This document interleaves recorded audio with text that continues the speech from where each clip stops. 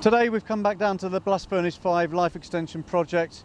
In the last few days there's been some significant activity down here, not least as you can see behind me the removal of the downcomer. Uh, in the next few days the new downcomer is also going to be put in place and lifted uh, as another significant and visible step in the project.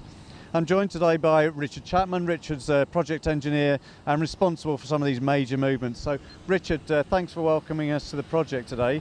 Tell us a bit about what's involved in uh, taking a, a 100 plus ton downcomer off a blast furnace.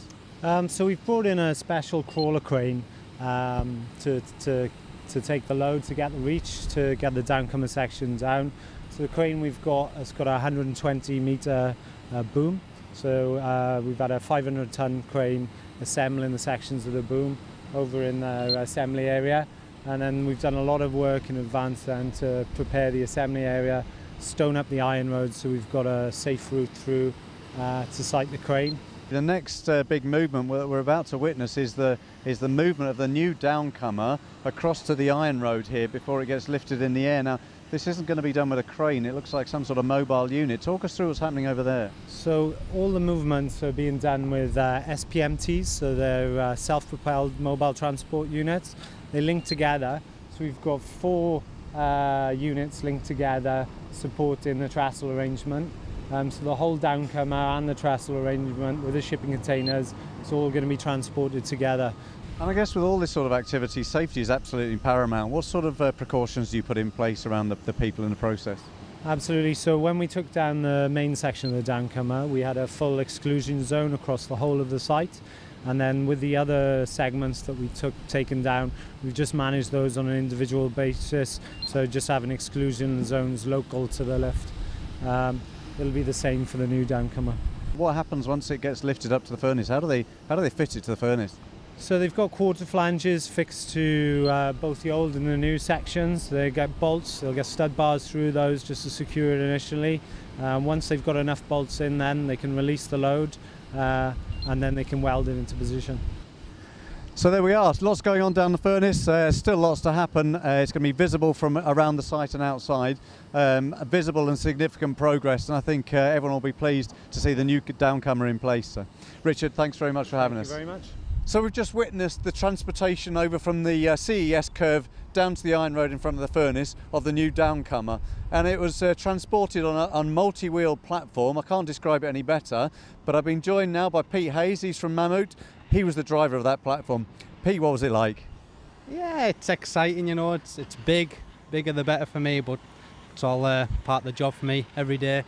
And I guess you've had quite a lot of training and I guess you do bigger stuff than this, do you?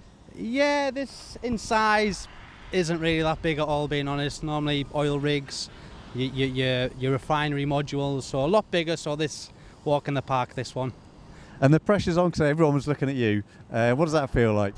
I'm used to that now. I'm used to it. There's always people watching. To other people, it's amazing, you know. But like I said, it's my daily job. I do it every day, so that's it, yeah. And there was a lot of wheels pointing in a lot of different directions. It looked like you were sort of manoeuvring it inch by inch. It was really, really precise. So is that uh, is that how it goes? Is it? Yeah. That well, it, we work in millimeters. You know, it's it's never it's never easy. It's always tight, but that's what we like. You know, it makes it exciting. Well, it makes it more exciting for me. So. But I guess you don't want exciting. You want slow, steady, and safe. Uh, uh, there must be a lot of safety procedures in place uh, around this sort of stuff. Yeah, exactly. When you know we come to move this, it, has been pre-planned. You know, we, we've walked the route we know we know if it's safe. You know, everything's been pre-thought of, and that's how it ends up here safely. Yeah. Well, it's very impressive, Pete. Congratulations. Thanks very much for your time. Thank Cheers. You. Cheers. Awesome. so behind us, you can see the uh, downcomer has now been moved into place. I'm joined now by Richard Passmore. Richard is the engineering installation manager for MII, major contractor on site. Now, Richard, uh, your company's been responsible for the manufacture and, and installation of the downcomer. Uh, tell us a bit about it. Well, we manufactured the downcomer in our engineering workshops in Bedwas in Caerphilly. Uh, it was manufactured uh, in two separate sections that we then delivered to site and then installed in the laydown area that you go over here. And then in conjunction with Mammoet, then it was just being transported over there ready for installation onto your furnace. So you've got quite a job in terms of getting it from Bedwas to site, from site, and I think there's been a bit more work on it while it's been uh, on the CES curve, and then overseeing uh, this piece of work. How many people you got kind of working on that? Uh, on a day-to-day basis, we've got about 20 guys in our teams working on the top, bottom for the furnace and also in the laydown area. Uh, logistically, it was a bit of a challenge getting it here. The job is uh, not not over yet by some long shot because you've got to get it up into place. What's the challenges there? Well, we've had a we've had quite a successful demolition so far. Uh, the final piece came down uh, earlier today. Uh, in terms of installing it now, it's the challenge is surveying it and making sure that we are millimetre perfect so that when we install it, uh, we can position it into place, ready for it to be welded secure. And I guess the weather will play some part in that, and uh, no risks to be taken with the weather, and it'll have to wait until till the place is calm, I guess. Yeah, uh, it, the weather forecast looks good over the next couple of days. Our plan is to lift this up in two days' time. Uh, weather forecast looks good, so we'll be looking for an early start to get it up in position. Well, good luck with that, Richard. Thanks very much for joining us. So we've just seen the major lift of the Blast Furnace 5 Life Extension project, which is the downcomer being lifted into place uh, on the furnace. An amazing experience to see it, and uh, you know the number of cranes that were involved and the inch by inch precision of that lift was uh, really something to behold. I'm joined now by Marcus Purchase. Marcus is in charge of the uh, rigging and heavy lifting across the site and has been really the man who's been looking at uh, managing the lift uh, and the cranes around the operation. Marcus, that was a tremendous sight to see. Uh, a lot of cranes working in conjunction there. Tell me how all that's managed. Basically, Tim, it's all down to the planning and supervision. Um, the lift plan was put in place. As you can see, as soon as you put two cranes on a job, it then becomes a complex lift. So it's just a case of controlling it throughout and it went as smooth as we could have asked. And this beast behind us, I mean, this is like a thousand tons in weight plus. It's got a boom. I think you said it would extend to 170 meters. You know, how, how does a how does a beast that big control something to within millimeters when it's lifting? Just the precision and its control, really, Tim. It's down to its gearing and systems. Um, it's obviously it can hoist and lower quickly, or it can hoist and, and lower as slow as you want it to. And as you witnessed earlier, it, it took it into to the exact precision. And obviously due down to taglines also.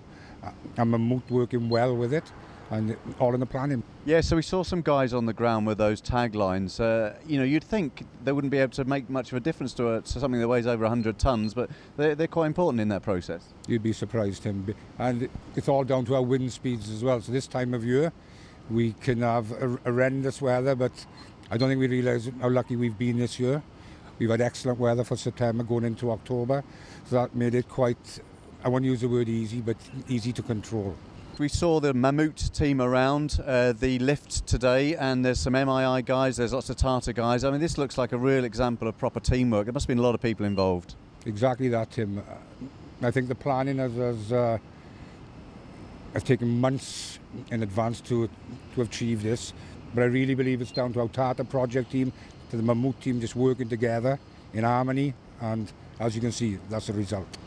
So it's amazing being up close and personal to these uh, enormous machines, but uh, maybe no one thinks about how you get these things onto site and off again because they don't just drive in and out, do they? No, great difficulty. Um, it's all about the rigging of them, and as you can see when you look at it, it all comes apart in bits as if it was a an Airfix model as such. But that's basically what it is, you know. It's a very, very impressive operation, Marcus, and thanks for uh, getting us up close to it. The downcomer has gone up. Uh, it's in place. The uh, the tolerance at the where it's joined onto the furnace is, is literally millimeters, uh, and until you come and see it yourself, it's very difficult to appreciate the precision of such enormous machines. Uh, it's been a fantastic experience, Marcus. Thanks very much for your insights. Thank you, Tim.